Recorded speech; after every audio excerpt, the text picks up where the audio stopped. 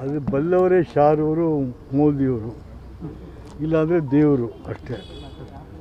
ಅಷ್ಟೇ ಜನಕ್ಕೆ ಗೊತ್ತಿರೋದು ಬೇರೆ ಇನ್ಯಾರಿಗೂ. ಇಲ್ಲ ವಿಸ್ತರಣೆ ಆಗುತ್ತಾ? ಇಲ್ಲ ಶಫಲ್ ಆಗುತ್ತಾ? ಅದು ಯಾರಿಗೂ ಗೊತ್ತಿಲ್ಲ ಸರಿ ಅಂತ ಹೇಳಿ ಯಾಕೆಂತಂದರೆ ಮುಖ್ಯಮಂತ್ರಿಗಳು ಮೊನ್ನೆ ದಿವಸ ದೆಹಲಿಗೆ ಹೋಗಿ ಭಾರತ ಜನತಾ ಪಕ್ಷದ ರಾಷ್ಟ್ರಾಧ್ಯಕ್ಷರಾದಂಥ ನಡ್ಡಾರವ್ರನ್ನ ಕಂಡು ಭಾಳ ವಿವರವಾಗಿ ಮಾತಾಡಿ ಬಂದಿದ್ದಾರೆ. ಅವರ ಮಾತುಕತೆಯೂ ಕೂಡ ಯಾರಿಗೂ ಗೊತ್ತಿಲ್ಲ. ಯಾಕೆಂದರೆ ರಾಜಕಾರಣವಾಗಿ ಮಾತಾಡಿರ್ತಕ್ಕಂಥದ್ದನ್ನು ಅದು ಬಹಿರಂಗಪಡಿಸೋದಕ್ಕೂ ಸಾಧ್ಯವೂ ಕೂಡ ಆಗೋದಿಲ್ಲ. ನಾನಂದಗೌಡರು ಪಕ್ಷದ ಹಿರಿಯರು, ಮಾಜಿ ಮುಖ್ಯಮಂತ್ರಿಗಳು ರಾಜಕೀಯದ ಲೆಕ್ಕಾಚಾರನೇ ಬೇರೆ. ರಾಜಕೀಯದ ಲೆಕ್ಕಾಚಾರದಲ್ಲಿ ಐವತ್ತೊಂದು ದೊಡ್ಡದೇ ಹೊರತು ನಲವತ್ತೊಂಬತ್ತು ದೊಡ್ಡದಲ್ಲ. ಐವತ್ತೊಂದು ಆದಾಗಲೇ ಅದಕ್ಕೆ ಒಂದು ಮೌಲ್ಯ ಬರುವಂಥ ಹಾಗಾಗಿ ಅವ್ರು ಹಿರಿದರೆ ರಾಜಕೀಯ ಲೆಕ್ಕಾಚಾರ ಎಲ್ಲ ತಪ್ಪಿ ಮಾತಾಡ್ತಾ ಇದ್ದಾರೆ ಅಂತ ನನಗೂ ಕೂಡ ಅನ್ನಿಸ್, ಪರಿಪೂರ್ಣವಾದ ಸಂಪುಟ ರಚನೆ ಆಗಬೇಕು. ಬಲಿಷ್ಠವಾದ ಜನರು ಮೆಚ್ಚುವಂಥ ಜನರನ್ನು ಒಡಗೂಡಿದಂಥ ಒಂದು ಮಂತ್ರಿಮಂಡಲ ಬೇಕು. ಆ ಮಂತ್ರಿಮಂಡಲ ಮತ್ತು ಪಕ್ಷದ ರಾಜ್ಯ ಸಮಿತಿ ಮತ್ತೆಲ್ಲ ಒಟ್ಟಿಗೆ ಸೇರಿ ಕೆಲಸ ಮಾಡಬೇಕಾಗುತ್ತೆ. ಅದನ್ನು ಹಿಂದಿನಿಂದನೂ ಕೂಡ ದೇವರಾಜರ ಸರ್ಕಾರದಿಂದ ಕೂಡ ಆಡಳಿತ ಪಕ್ಷ ಆಡಳಿತಾರೂಢ ಸರ್ಕಾರ ಎರಡೂ ಕೂಡ ಜೊತೆ ಜೊತೆಯಲ್ಲಿ ಹೋಗ್ತಾ ಇದ್ದಿದ್ದರಿಂದ ದೇವರಾಜರಸರು ಎರಡೆರಡು ಸಾರಿ ಬರಲಿಕ್ಕೆ ಸಾಧ್ಯ ಆಯಿತು. ಹಾಗೆ ಇವತ್ತು ಕೂಡ ಅದರ ಅವಶ್ಯಕತೆ ಇದೆ. ಇವತ್ತಿಗೂ ಕೂಡ ಅದರ ಅವಶ್ಯಕತೆ ಇದೆ. ಸೆಂಟ್ರಿಸ್ಟ್ ಪಾರ್ಟಿಗಳು ಸೆಂಟ್ರಿಸ್ಟ್ ಪಾರ್ಟಿಗಳು ತೀರ್ಮಾನ ತಗೊಳ್ಳುವಂಥದ್ದು ದೆಹಲಿಯಲ್ಲೇ ಇರುತ್ತೆ. ದೆಹಲಿಯಲ್ಲಿ. ಹಾಗಾಗಿ ದೆಹಲಿಯಲ್ಲಿ ವರಿಷ್ಠ ಮಂಡಳಿ ತೀರ್ಮಾನ ಮಾಡಬೇಕಾಗುತ್ತೆ. ಏನೋ ಒಂದು ಅಭಿಮಾನದಿಂದ, ನಂಬಿಕೆಯಿಂದ ಹೇಳ್ತಾರೆ. ಹೌದು, ಇನ್ನು ಎರಡು ದಿವಸದಲ್ಲೇ ಮಾಡ್ತೀನಿ ಅಂತಕ್ಕಂಥ ಬಟ್ ಅಲ್ಲಿ ಕೇಂದ್ರದಲ್ಲಿ ಬೇರೆ ಬೇರೆ ಲೆಕ್ಕಾಚಾರಗಳಿಂದ ಸ್ವಲ್ಪ ತಡ ಆಗ್ತಾ ಇದೆ. ತಡ ಆದರೂ ಕೂಡ ಆಗ್ತದೆ. ಈಗ ಮರಾಠ ಪ್ರಾಧಿಕಾರ ಮಾಡುವಂಥದ್ದು ಅವಶ್ಯಕತೆ ಇಲ್ಲ.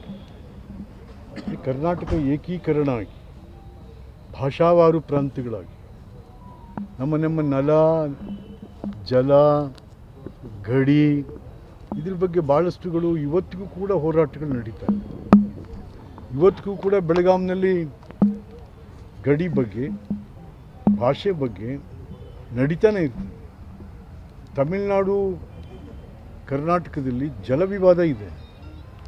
ಹಾಗಾಗಿ ನಾವು ಒಂದೊಂದು ಭಾಷೆಗೂ ಕರ್ನಾಟಕದಲ್ಲಿ ಪ್ರಾಧಿಕಾರ ಮಾಡ್ತಾ ಹೋದಂಥ ಸಂದರ್ಭದಲ್ಲಿ ಕರ್ನಾಟಕದ ಐಕ್ಯತೆ, ಕರ್ನಾಟಕದ ಬ, ಭದ್ರತೆ, ಕರ್ನಾಟಕದ ಏಕೀಕರಣ ಇವೆಲ್ಲಕ್ಕೂ ಕೂಡ ಧಕ್ಕೆ ಆಗ್ಬಿಡ್ತದೆ, ಮಾಡಬಾರ್ದು. ಹಾಗಾಗಿ ಮುಖ್ಯಮಂತ್ರಿಗಳು ಮತ್ತೆ ಪುನರ್ವಿಮರ್ಶೆ ಮಾಡಬೇಕು പക്ഷേ ಯಾವುದೋ ಸಂದರ್ಭದಲ್ಲಿ ಯಾವುದೋ ಕ್ಷಣದಲ್ಲಿ ಅವರು ತೀರ್ಮಾನ ತೊಗೊಂಡಿರ್ಬೋದು ಅದನ್ನು ಅವರೊಬ್ಬ ಹಿರಿಯರಾಗಿ ಅನುಭಾವಿಕರಾಗಿ ಇದು ಒಂದು ಪುನರ್ವಿಮರ್ಶೆ ಮಾಡಬೇಕು ಅಂತಂಥೇಳಿ ನಾನು ಸಮಸ್ತ ಕನ್ನಡಿಗರ ಪರವಾಗಿ ಅವ್ರನ್ನ ವಿನಂತಿ ಈ ನೆಲ ಇದೆಯಲ್ಲ ಕರ್ನಾಟಕ ಬಹಳ ವಿಶೇಷವಾದದ್ದು ಚಲುವ ಕನ್ನಡ ನಾಡು ಚಲುವ ಕನ್ನಡ ನಾಡು ಅಂದರೆ ಯಾವ ರೀತಿ? ಕುವೆಂಪು ಅವರು ಹೇಳಿದರು. ಎಲ್ಲ ಧರ್ಮಗಳ, ಎಲ್ಲ ಜಾತಿಗಳ ಶಾಂತಿಯ ತೋಟ ಅಂತ ಹೇಳಿದ್ದಾರೆ. ಈ ಶಾಂತಿಯ ನೆಲದಲ್ಲಿ, ಈ ಶಾಂತಿಯ ತೋಟದಲ್ಲಿ ಮತ್ತು ಈ ಜಾತಿ ಪ್ರಾಧಿಕಾರಿಗಳು ಅಶಾಂತಿಯನ್ನು ಎಬ್ಬಿಸೋದಕ್ಕೆ ನಾವ್ಯಾರೂ ಅವಕಾಶ ಕೊಡಬಾರ್ದು. ನಾವ್ಯಾರು ಅವಕಾಶ ಕೊಡಬಾರ್ದು. ಮತ್ತು ಯಾರೋ ಒಬ್ಬರು ಕೇಳ್ಬೋದು ಅದಲ್ಲ. ಯಾಕೆಂದರೆ ಇವತ್ತು ನಾವು ಯಾವ ತತ್ವ ಸಿದ್ಧಾಂತದ ಮೇಲೆ ನಮ್ಮ ಸಂವಿಧಾನ ಆಗಿದೆ, ಅಂಬೇಡ್ಕರ್ ಅವರು, ಅದು ನಾವು ಎಷ್ಟು ಸಾರಿ ಹೇಳಿದ್ದೀವಿ ಅದನ್ನು.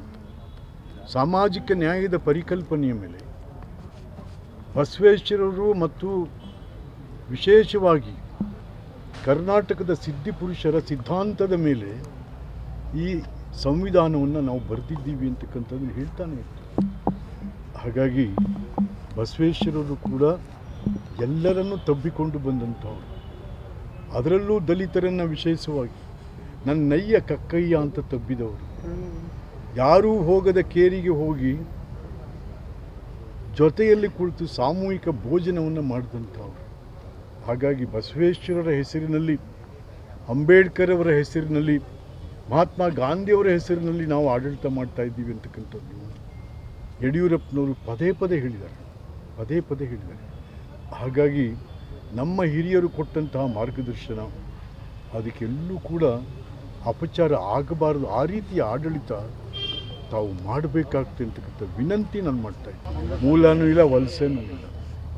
ಹಿಂದೇನೋ ಹಾಗೆ ಆಗ್ತಿತ್ತು ಕಾಂಗ್ರೆಸ್ಸಲ್ಲಿ. ಮೂಲ, ವಲಸೆ, ಸಿದ್ದರಾಮಯ್ಯನವ್ರು ಬಂದಾಗ ಮೂಲ, ವಲಸೆ ಮೂಲ, ವಲಸೆ ನಡೆದಿಲ್ಲ ಯಾವ ಮೂಲೂ ಇಲ್ಲ, ವಲಸೂ ಇಲ್ಲ, ಎಲ್ಲ ಒಂದೇ ಎಲ್ಲ ಒಂದೇ. ಈಗ ಬಿ ಫಾರ್ಮ್ ಕೊಟ್ಟಿದ್ರಪ್ಪ ಎಲೆಕ್ಷನ್ ನಿಂತ್ಕೊಳ್ಳೋಕ್ಕೆ ಮಣಿರತ್ನ ಅಲ್ಲಿ ಈ ವಲಸೆ ಬಿ ಜೆ ಪಿಯನ್ನು ಕೊಟ್ಟಿದ್ರ?